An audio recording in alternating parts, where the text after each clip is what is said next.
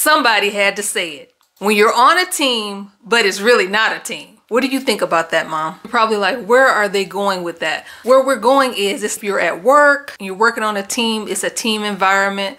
Whether you're in a group project at school, that's a team environment. In business, that's a team environment. And a lot of times you're on these teams and people are on your team, but they're really not on your team. They don't want to see the success of the group happen. In some ways, they're on the team, but they're there to sabotage the team. That's what we're talking about today. Have any of you dealt with people being on your team, but they're not really on your team? If you have, comment down below. We'd like to hear your stories of what you've gone through, but we're going to touch on that today. I'm excited to be here with my mom. She's the founder of FOSDP, and we're just to have a fun conversation today. And I thought it was interesting to do this topic because I know it's so many of you out there who are facing this situation. You're constantly dealing with this in your everyday lives. You're working on teams, and it's not really a team, and so you're trying to figure figure out how to navigate that type of situation. So I'm so glad to have my mom here to talk about that. What do you think about that topic, mom? Well, I think to be on a team, you first of all need to be a strong leader and you need to have good communication skills. You need to be a people person. You need to be a good problem solving uh, person. And you also need to be trustworthy. And saying all that, when you're on the team, like say you're on the project and you're doing something like I remember on my last position, I was on a team and we had to constantly delegate different projects. Like we'd have to, this person had to do the makeup, this person had to do the trash, this person had to do this.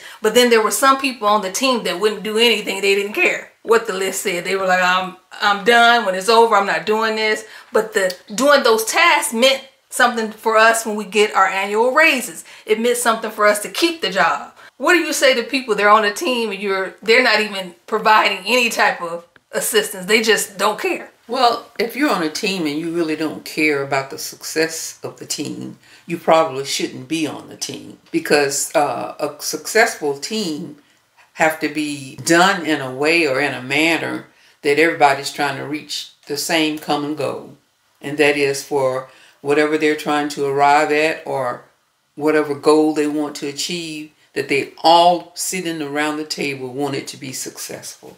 So I was thinking about how do you how do you describe someone who is a good team leader? And I had to really give it some thought because I had a, I've had a lot of different team leaders in my life. I've been a leader. I was raised by a leader. And so there's so many definitions to that question. And for me, I feel like a great team leader is compassionate. A great team leader is organized. A great team leader is someone you can talk to. They lead, but they also know how to give take direction from others. They don't just feel like I'm the leader, you do what I say. I think a great team leader is someone who is into community. They want to build a community so that everyone on the team can do well. That's a good uh, point that you just made. And my take on that is that a team leader recognizes it's about the greater good and they look for ways to benefit the whole and not just themselves, not just me and myself, but considerate of others as well. And how how did I love that? And how did you how do you navigate those situations in your personal life when you're on a team? Knowing that sometimes in life you have to take a look at the other person's input and not just your own because sometimes you can have individuals seated around a table that really know what they're talking about and can really give you some positive input on what you're trying to accomplish. When you're working on teams, a lot of people would say, especially at work, I'm just here to get do my job and go home and get paid. I don't care about these people. I just want my money.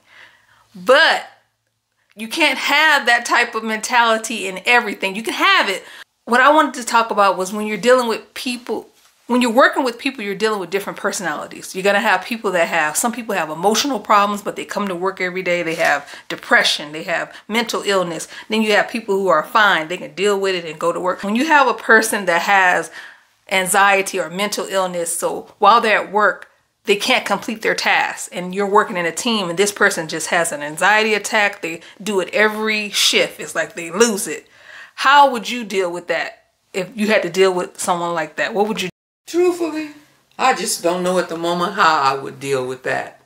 But I can do some research and see how I should deal with that because it's got to be dealt with. And that's the honest thing is you're going to deal with these different topics. It was such a pleasure to have this conversation with you, and, and, we will do it again. And we thank you guys so much for listening in. Don't forget to hit that red subscribe button if you want to hear more conversations. We thank you so much for watching, and we will see you next time.